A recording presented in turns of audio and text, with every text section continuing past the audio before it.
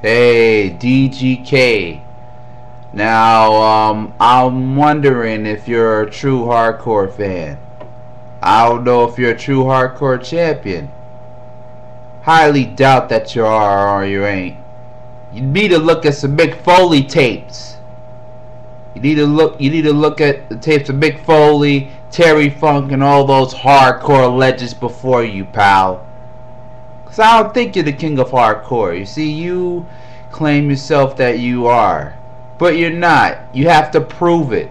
Matter of fact, you have to prove it to me uh, when you defend your top. When you defend your bloodless championship.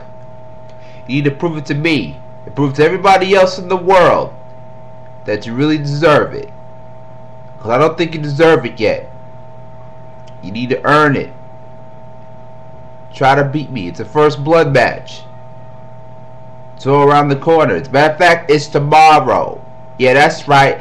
Tomorrow. Tuesday. That's right. I said it. Tuesday.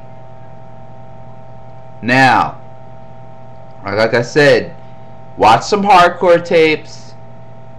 Watch some Mick Foley tapes. Wrestling hardcore tapes. Yeah, that's right. Hardcore tapes. Yeah, so watch some barbed wire matches, some thumbtacks, some chair shots. Hell, watch um, what you call it? Some Hell in the Cell matches, some damn cage matches, some some some some some um some some mother some mother some mother some motherfucking um inferno matches.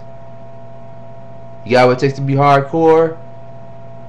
Have you ever fought in a barbed wire match? Nah, I don't think so. You need to look at some hardcore tape, buddy. Hardcore tapes.